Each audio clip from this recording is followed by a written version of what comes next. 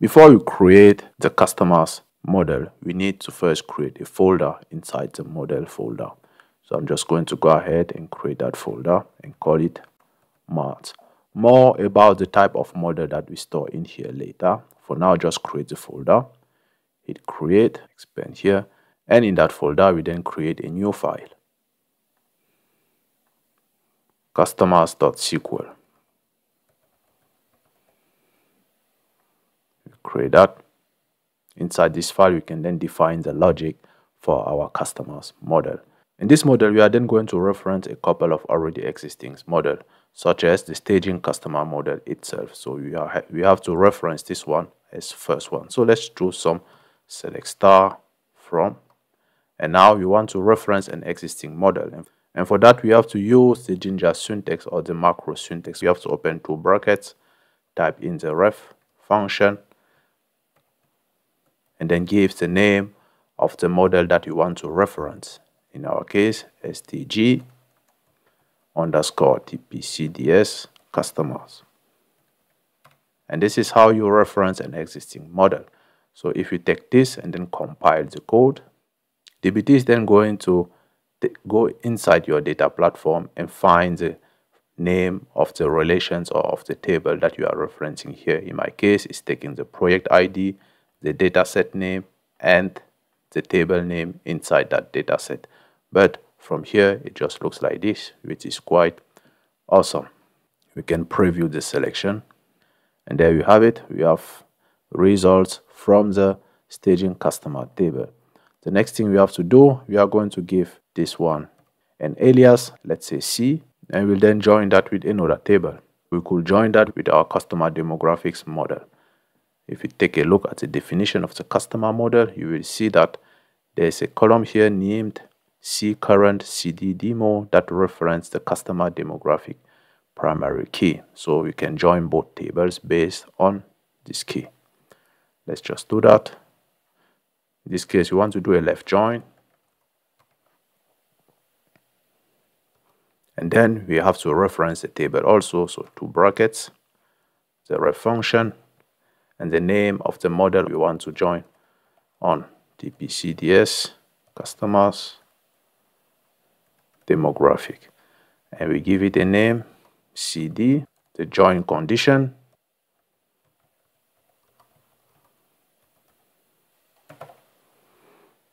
And here we then have the join condition. We know that the customer table is related to the customer demographics table based on this column and this is the primary key of the customer demographics table. We can compile this and you can see just going to do the same thing as before. It's going to take the name of our model from the data platform and build a standard join with it. And we are then going to do the same with all the tables that are referenced by the customer table. So there's one thing i can do before i show you the final statement. We can do c star like this and cd star like this this means we are selecting all the columns available inside the staging customer and also all the columns available inside the customer demographics model. You can also list the name of all the columns, which is what I'm going to do and I already prepared the script for that. So let me paste that here. The script is simply selecting all the columns from the customer model and also from the customer demographic model. However, we still have more tables to join, so I'm going to do that.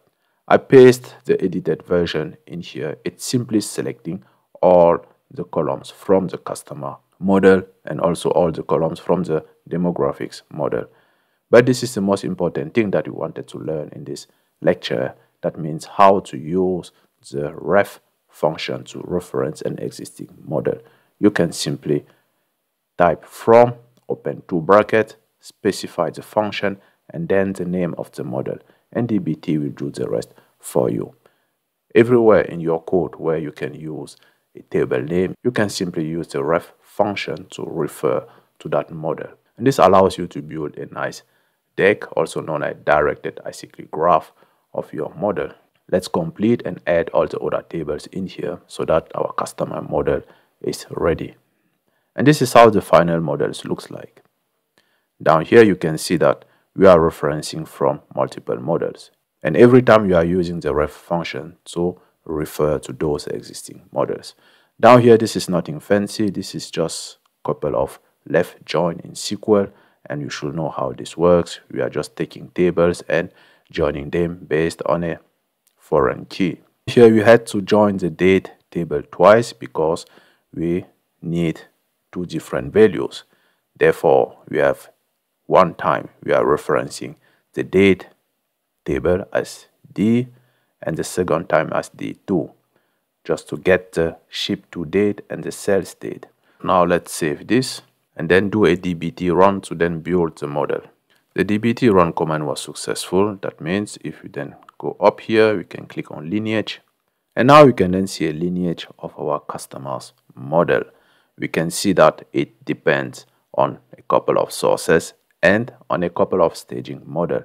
And this is where the ref function is quite powerful. The first thing that dbt will do is to first build the sources and then build the staging models before it builds a customer model because it knows that there is dependency between the models. You can also see that with the direction of the arrow over here. You can see this one goes into this one and then goes into that one. In short, this is simply how you can use the ref function to refer to other existing model and then dbt will build a nice directed acyclic graph showing us the dependencies between the different models. One thing that you can do and should always do is to go into the documentation and read a little bit more about the ref function. But for now, you know how to use it. See you in the next lecture.